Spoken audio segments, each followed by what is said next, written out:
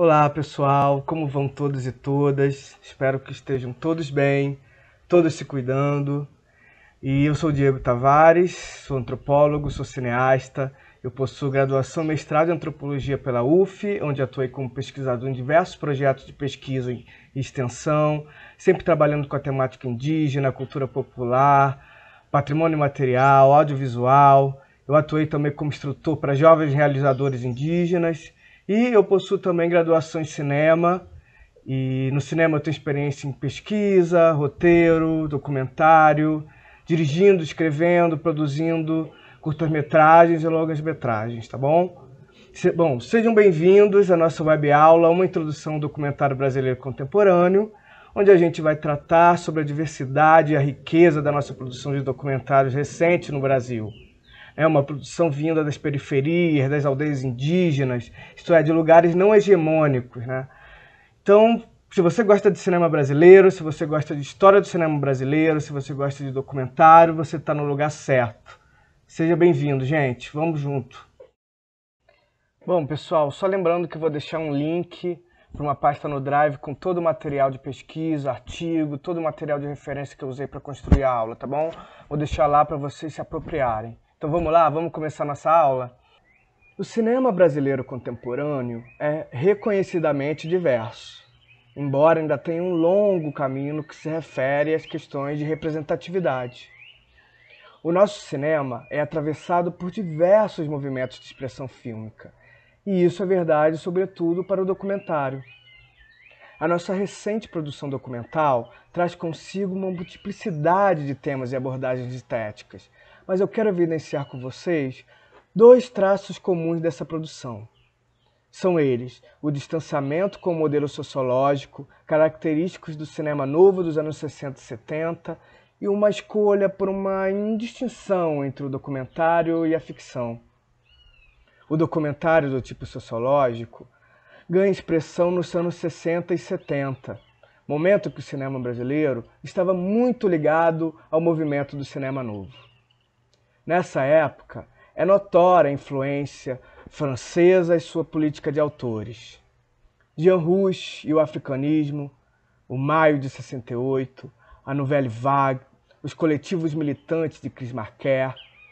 Os realizadores buscavam referências também na Itália do pós-guerra, no neorrealismo italiano, no cinema noir de autores norte-americanos como Orson Welles e Alfred Hitchcock. Nesse período, marcado por ideais nacionalistas, os documentaristas apostavam na construção de tipos representativos ou sujeitos genéricos para a elaboração de uma imagem do povo brasileiro ou do proletário nacional. Esta geração de cineastas, marcada por uma certa consciência histórica, política e social, buscavam em suas obras representar o Brasil, ou revelar o que era de fato o Brasil, com uma visão totalizante do país. Dentre muitos exemplos, destacam-se os ensaios sociológicos A Opinião Pública, de Arnaldo Jabor, e Maioria Absoluta, de Leão Richman. São filmes que têm foco nas questões coletivas, em grande escala, ou apresentam os personagens como representações de grupos, classes ou nações. De que maneira esses filmes fazem essa representação? Eu queria mostrar para vocês esse documentário chamado O Viramundo, de Geraldo Sarno, que mostra bem como esses filmes lançam mão do modelo sociológico. Vamos ver um trecho e depois analisamos a sequência juntos? Viramundo, o que há de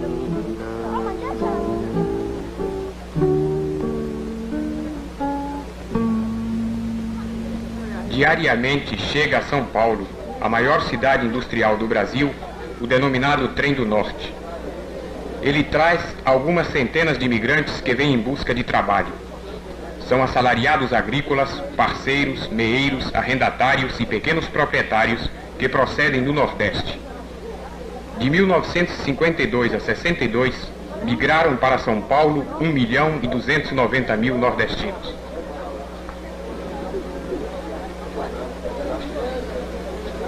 Você trabalhava onde lá? Na usina Santa Terezinha. Era trabalho de quê? Trabalho de cana, né? Calpino roça, roça de lavoura de cana, né? Quanto o senhor ganhava lá? Eu pegava seis, cinco e meia, largava sete, ganhava 700 cruzeiros, né? Todos lá ganhavam essa mesma quantia? Todos ganhavam essa mesma quantia, porque não dá pra ganhar mais, né? Isso é meio duro, né? Aí o senhor resolveu vir pra cá? Aí vim vir pra São Paulo ver se ganhava mais, pra ver se melhorava mais a situação, né? Eu venho pra cá pro estado de São Paulo devido à nossa lavoura que não tem saída, sabe? Trabalhamos com cacau. Cacau é nosso próprio. Então, não temos vendido. Colhemos o cacau, ele deu muito esse ano. Foi um ano que até produziu mais. Mas não temos vendido. Colhendo e depositando, sabe? É onde que meu pai mandou sair. Para vir aqui para o estado de São Paulo para ver se ganha um dinheiro. Saiu eu e outro irmão mais velho. Foi até para Amazonas.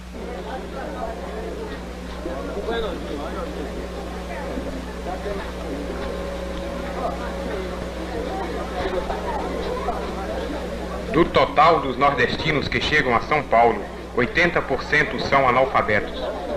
Eu vim por causa que eu não, não, não, não dava jeito de ficar lá trabalhando na roça. Bom, pessoal, o que vocês acharam do trecho? Eu gostaria de chamar a atenção de vocês para a maneira como a voz, tanto do narrador quanto dos entrevistados, é utilizada no filme.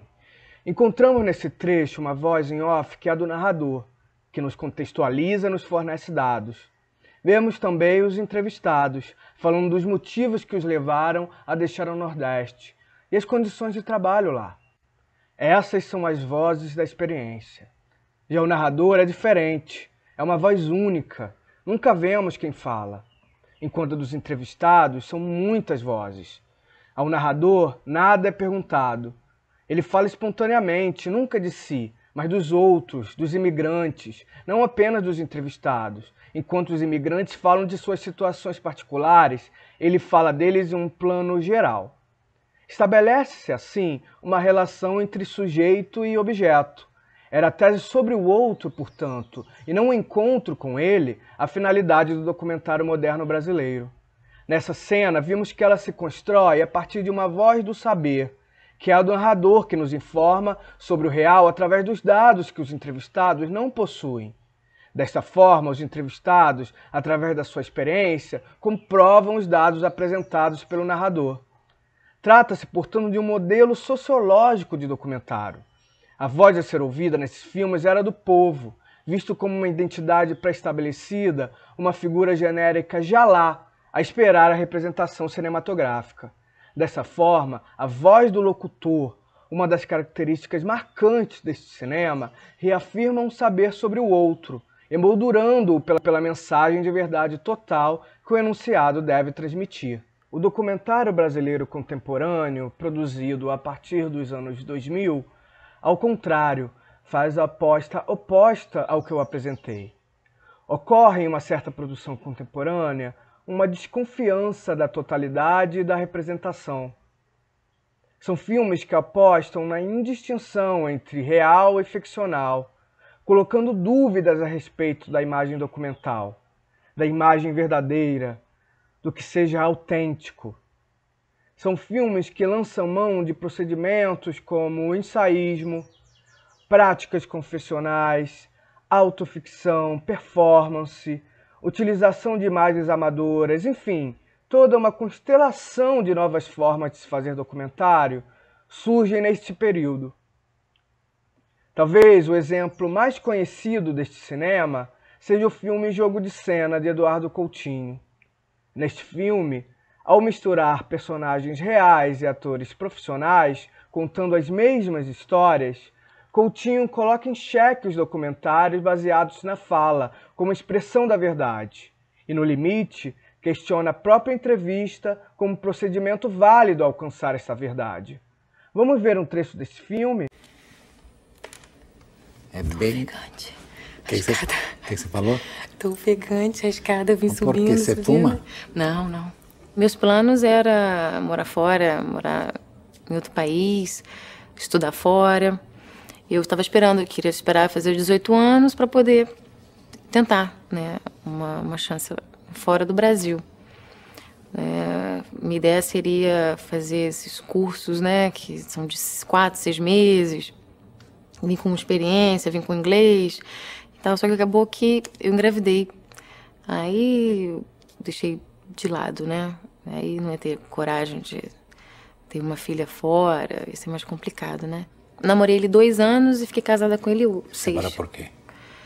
Porque eu sentia que eu já não estava presa ao casamento. É, eu, eu queria mais, eu queria estudar, né, começar a faculdade e eu já tinha interesse em outras pessoas, quer dizer, eu saí um pouco do foco né, do casamento. Então eu saí um pouco do foco do casamento. Aí eu achei que não seria legal, porque tanto ele como eu, na época, a gente era muito jovem. E aí eu já estava com aquela sensação, assim, eu achava interessante sair na rua e alguém me paquerar. Aí achei que não seria legal, porque poderia, de repente, trair ou em pensamentos. A história do documentário brasileiro foi profundamente atravessado pelo movimento do vídeo nos anos 80 e 90. Este movimento foi representado pelas oficinas de formação audiovisual, realizados por associações e organizações não governamentais. O objetivo era incentivar a efetiva participação dos grupos na elaboração de suas autoimagens e autonarrativas, buscando uma perspectiva de dentro dos grupos sociais retratados. É neste contexto que nascem diversos coletivos de cinema, como o coletivo Cuicuro e o coletivo de cinema de Ceilândia, que reúnem estes realizadores vindos de fora do eixo Rio-São Paulo, vindos da floresta, vindos da periferia e que têm conquistado a duras penas seu espaço nas oficinas de audiovisual, em festivais de cinema e nas salas de exibição. Um dos exemplos mais importantes é a experiência do vídeo nas aldeias. Criado em 1986, o Vídeo nas Aldeias é um projeto percursor na área de produção audiovisual indígena no Brasil. O objetivo do projeto foi, desde o início, apoiar as lutas dos povos indígenas para fortalecer suas identidades e seus direitos.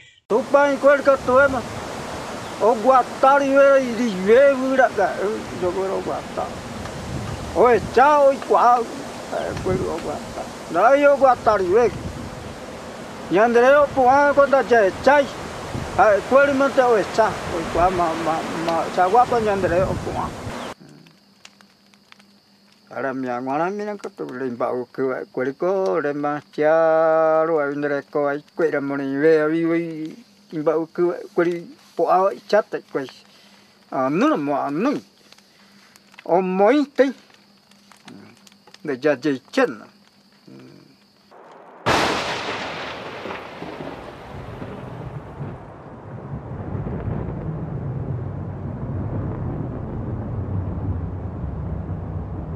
Acredito que o advento do vídeo e das tecnologias digitais seja um marco que faz surgir uma produção inédita no país. Assim, se durante muito tempo foram os outros que contaram histórias a respeito dessas comunidades, nas décadas mais recentes, com a facilidade de acesso às tecnologias digitais de imagem e som, inaugurou-se a possibilidade das próprias comunidades contarem as histórias sobre si mas também reinventá-las e performá-las a partir de seus próprios referenciais temporais, corporais, territoriais e culturais. São estes sujeitos que estão tomando conta desses instrumentos que durante muito tempo pertenceu a uma elite. É uma produção que cria, assim, uma imagem nova do país. Neste movimento, do outro ter a câmera para si, novas estéticas e narrativas surgem, outros personagens e realidades aparecem. Trata-se de um movimento de antropofagia da linguagem cinematográfica. Apesar de muito diversa, a atual cena brasileira de documentários apresenta uma notável tendência de apropriar-se dos gêneros do cinema, lançando mão de uma certa tensão entre real e a ficção. Mas, diferentemente de obras como Jogo de Cena, o que importa aqui é muito mais um compromisso com a comunidade e suas pautas. São obras que surgem a partir do engajamento coletivo e a partir de projetos comunitários. Há o desejo de produzir uma obra que não seja apenas porta-voz de uma mensagem, mas uma obra da comunidade, do coletivo.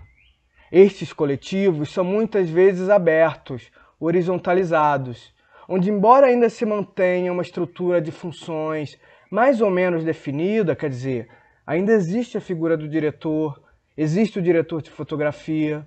Esses lugares bem definidos são muitas vezes tensionados. Um exemplo é que em A Vizinhança do Tigre, o diretor Afonso Shoa compartilha com os atores, que são os personagens reais do filme, os créditos do roteiro.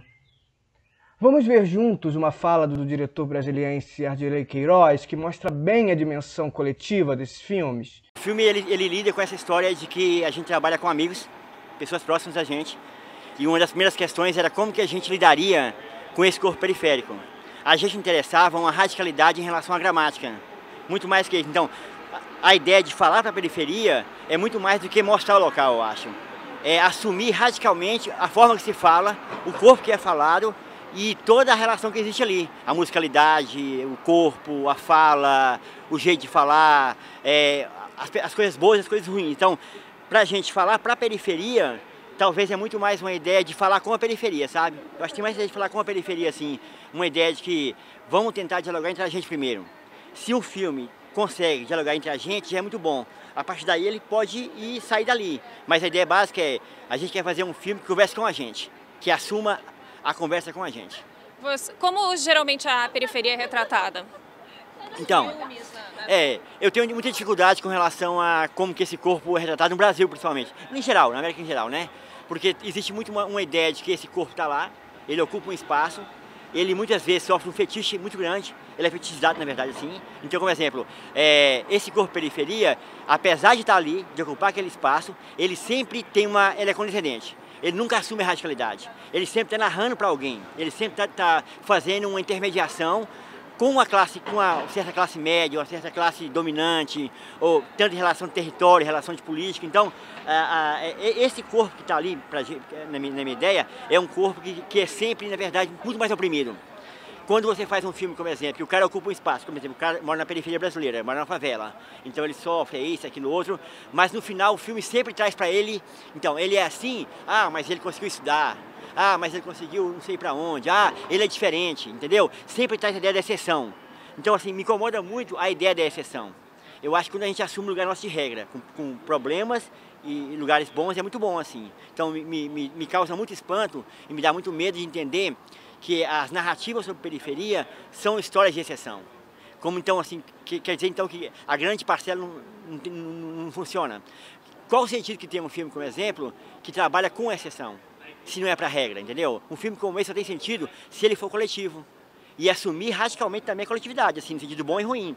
Não é coletivo, somos irmãos, não é isso que está falando. É coletividade no sentido de que a gente briga, a gente está brigando politicamente, espaço político, porém a gente quer falar que esse espaço não se vive só com a exceção. A exceção não interessa para mim, sim. Os filmes que eu vou comentar com vocês, As Hipermulheres, de Carlos Fausto, Leonardo Sete e Takuman Kuikuro, de 2011, Branco Sai, Preto Fica, de Ardelei Queiroz, de 2012, e A Vizinhança do Tigre, de Afonso Shoa, de 2013, são documentários que se utilizam livremente dos recursos de ficção, ou são ficções com uma estética documental. São filmes com difícil definição de gêneros. Essas obras partem de dentro do grupo representado, em modelos coletivos de realização abordando o nós e não mais o outro, firmando-se numa relação interna, localmente radicada em um território físico existencial compartilhado. Vamos a eles?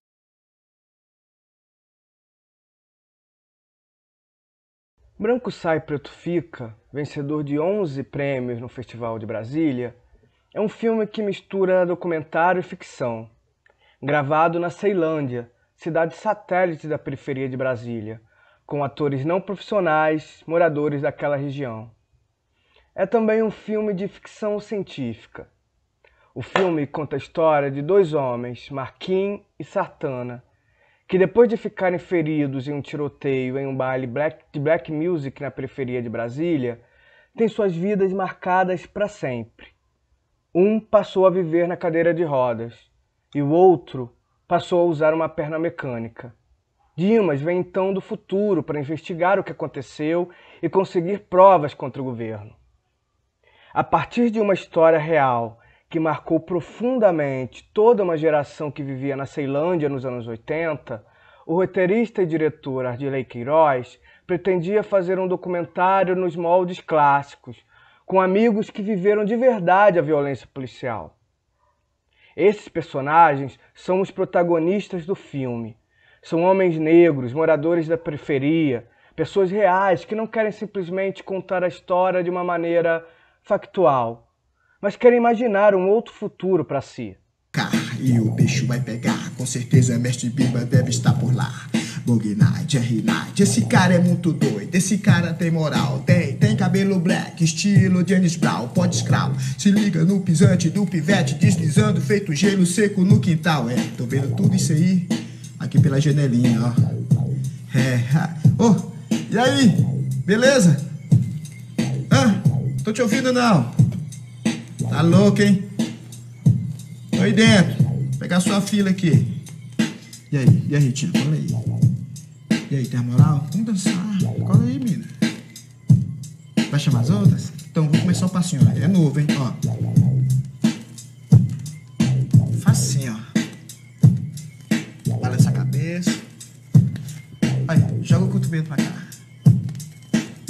Pegou? Cadê a Paulinha, cara? Aí, dá a letra nela. Tá me ouvindo, não?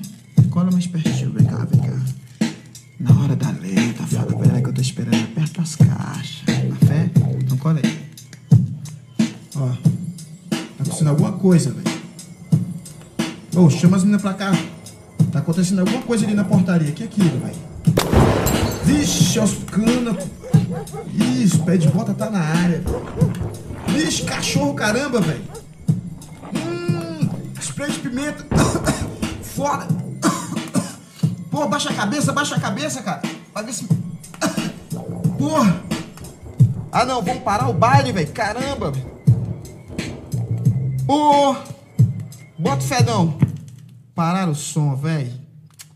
Que merda, velho. Pô, esses pés de bota, filha da. Bora, bora, bora, bora, bora. Puta pra um lado e viado pro outro. Bora, porra! Anda, porra! Tá surdo, negão? Encosta ali. Tô falando que branco lá fora e preto aqui dentro. Branco sai e preto fica, porra! Este é um filme que propõe a construção de uma narrativa pelo viés da autorrepresentação. Um olhar de dentro de quem viveu e vive na periferia. E por isso mesmo tem toda a propriedade para contar e reinventar sua própria história. Há no filme toda uma estética da periferia, que se mostra através da música, dos diálogos e da atuação dos atores.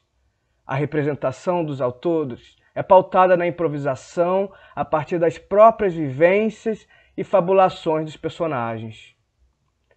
A música é um elemento central na narrativa, desde o baile quarentão até a explosão da bomba sonora em Brasília. Branco sai, preto fica, insere-se assim em uma tendência contemporânea do documentário de tornar incertos os limites entre ficção e realidade, sendo uma obra híbrida que junta memória e fabulação, personagens reais e personagens ficcionais, atores e não atores, imagens de arquivo e imagens ficcionais. Eu vi como se tivesse um eco. É, nisso que. Pá, aí nisso adormeceu assim o corpo. E naquela dormência do corpo eu procurei o, o, os meninos, já não vi mais eles. Sumiu todo mundo, né? E caí no chão. Quando eu caí, perdi a, a força das pernas, é, ao mesmo tempo com aquele sono, um sono cabuloso assim, né? E nisso que eu apaguei por um, um instante, é, eu ficava pensando assim, poxa, meu Deus, o que está acontecendo comigo? O que está acontecendo comigo? Pô, será que eu vou morrer agora? Aí eu ficava pensando, tipo assim, eu falei, não, não vou morrer agora não, vou morrer agora não. E nisso que eu pensando, não vou morrer agora, eu voltei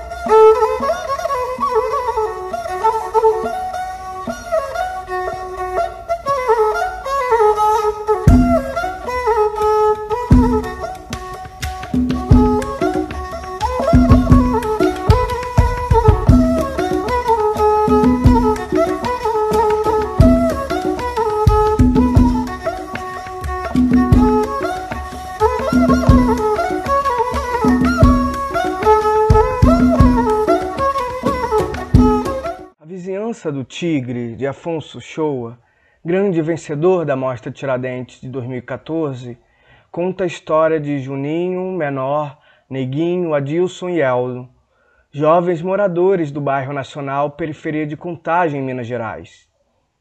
Divididos entre o trabalho e a diversão, o crime e a esperança, cada um deles terá de encontrar modos de superar as dificuldades e sobreviver a uma realidade cruel e desigual.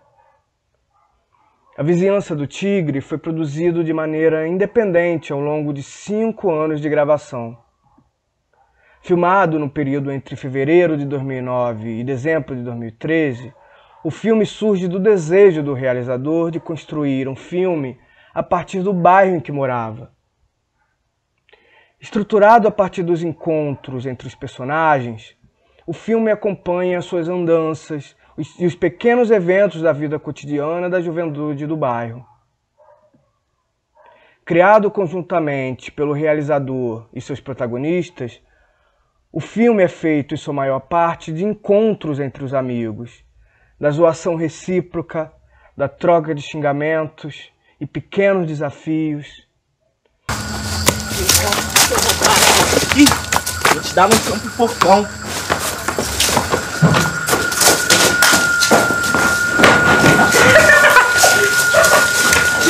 Vem cá, seu pilantra, vem cá, vem cá. Vem.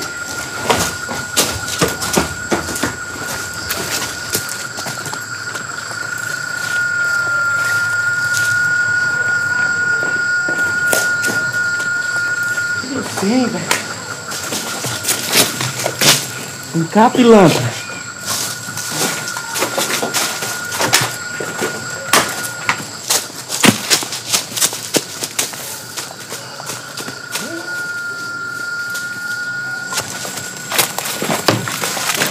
Pegar, filho.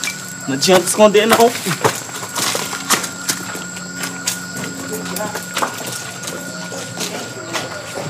Eu sei. Ah, cheia aí, né? Tá aí, né, pilantra? Tá aí, né, pilantragem? Aqui uma carteira no chão, o que é isso aí, Zé? Que que é? Que é isso, mano? Deixa eu ver, deixa eu ver, deixa eu ver. Vamos ver se tem dinheiro aí, velho. Abre aí o bagulho aí. Tem nada mesmo não, viu, Zé? Da onde será que surgiu essa parada, hein, Zé? Esse trem aqui é muita treta, né, Zé? Pode dar um tiro? Não, vai esparrar, velho. Se você tirar aqui, vai dar espaço. Presta aí. Vou jogar uma fagulha aqui. Coloca na agulha. Já tá na agulha já, Tá não. Olha Tá aí. não. Vai agora, você quer ver? E agora, você acha que foi? Foi. Agulha? Então. Vai. Vai lá, ó. Não, se, Tô se nós, você.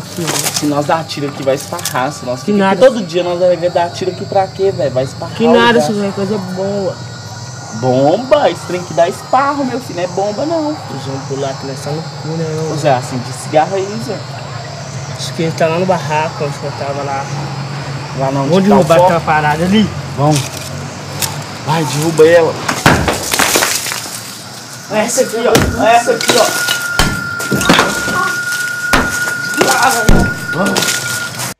As cenas são em parte planejadas, mas também improvisadas, nascendo da relação e interação espontânea dos atores. O próprio diretor já disse em entrevista que a construção do filme se deu pela mistura da vida real com a vida inventada.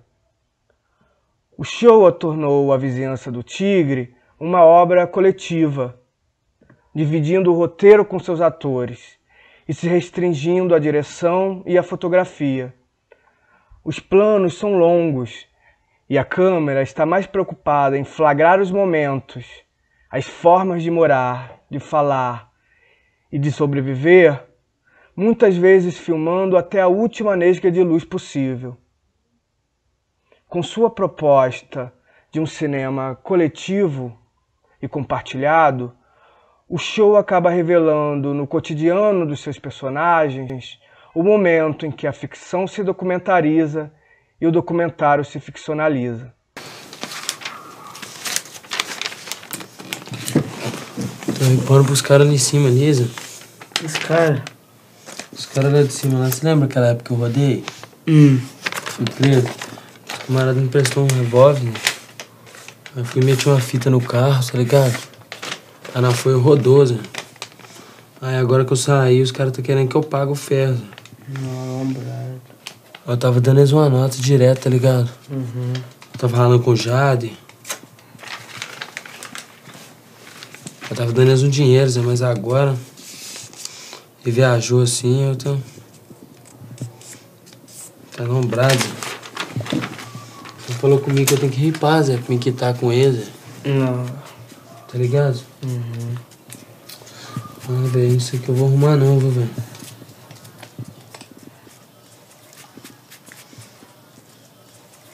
Tem que pagar, né, Zé? Não tô querendo mexer com essas tretas mais, não. Tá ligado?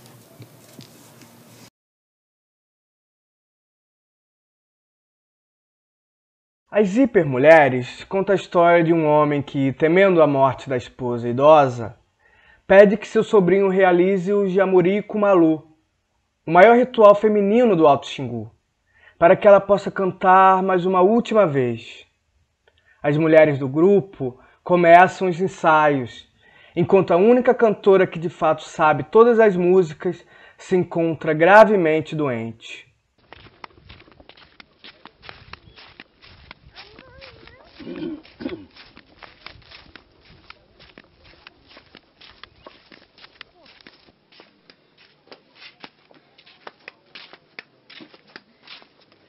我们 ma itaigae, ada katua itaigae, ayung kue silinya katua itaigae,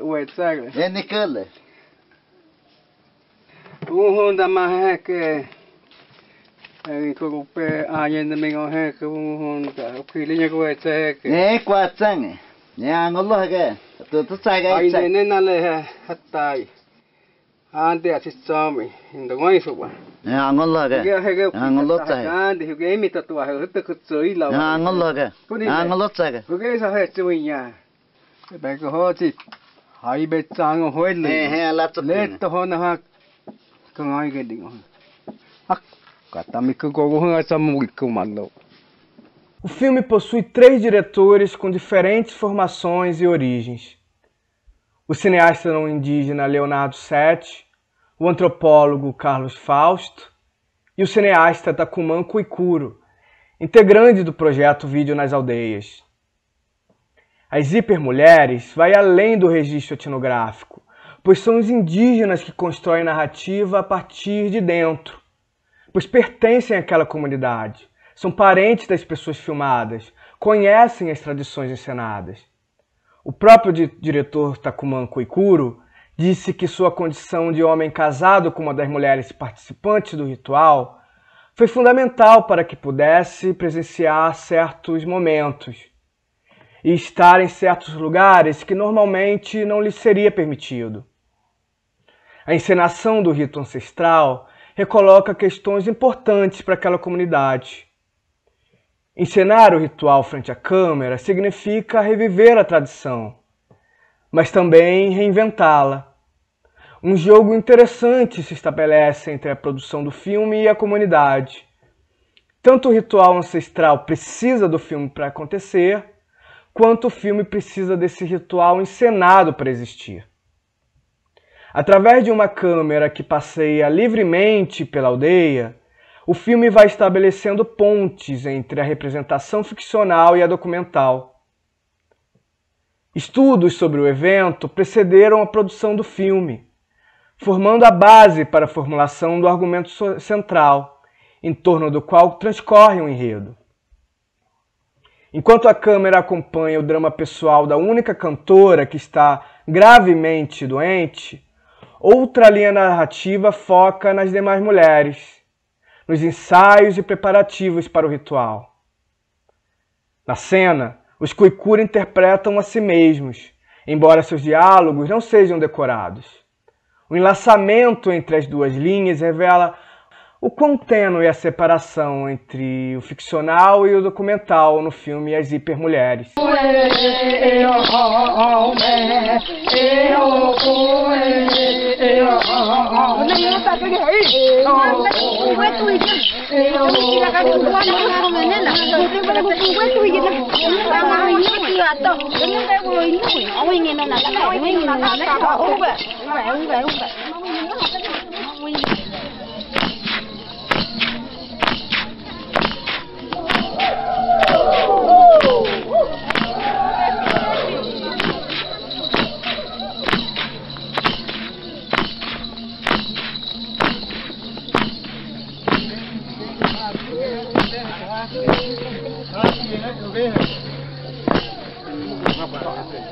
Ecco qua. E qui è un tocco di aiuto, non è prendendo.